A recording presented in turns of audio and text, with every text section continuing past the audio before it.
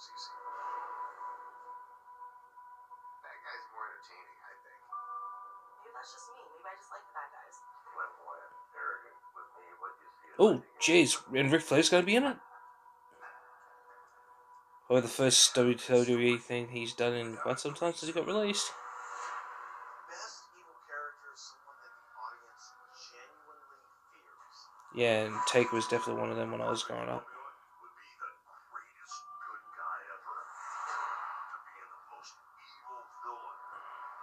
Don't make children cry. Period. Sasha Banks running around with that headband. Sasha Banks does though.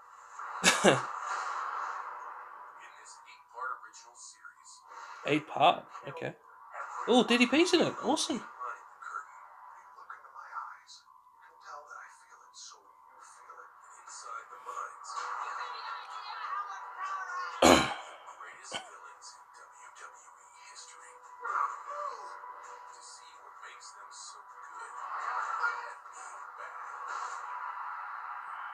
Playing a character. I am the character.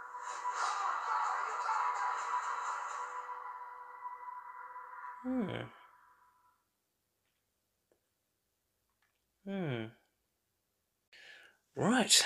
So that was WWE Evil the official trailer.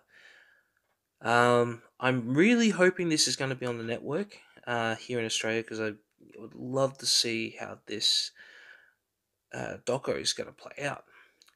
This is very interesting because uh, WWE are starting to really open the door and um, but ba- well, basically, uh, if you're a wrestling fan, you'd understand what, I, what I'm about to say. Kayfabe is dead, and let me just give a for those who don't know what that word means. Kayfabe is just a word uh, that's used in, in in wrestling terminology as you know, um, you know, uh, how how do you, how do you how would you pronounce this? like, um. It's like keeping the secret. It, like kayfabe is the secret of like uh, so of reality, blending reality and and the and the wrestling world. So, if anything that happens in the wrestling world, right, that's kayfabe, and but you know, and it's never talked about. You know when to do it. It's.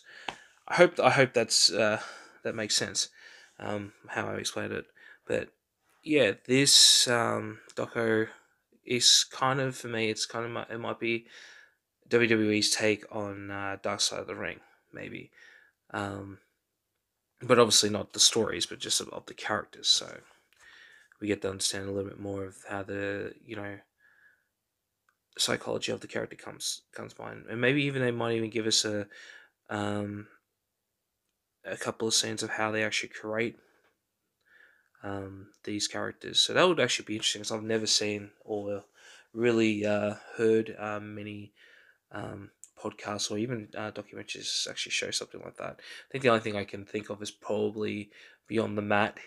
Um, they did show a little bit of concept art and stuff like that, and but I would love to actually see a meeting of what you know what it would like to be um, bringing someone new to become an, a, a bad guy or even to a new guy. So I'm gonna say this trailer is cool. Um, it's not a Frozen trailer by any means, but it just it's very very intriguing.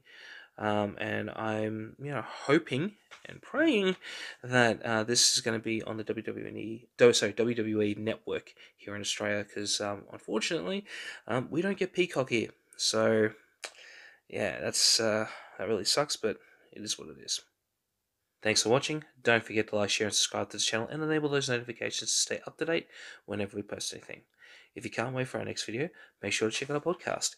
It is available wherever you get your podcasts. And until next time, we'll catch you on the next one. Peace.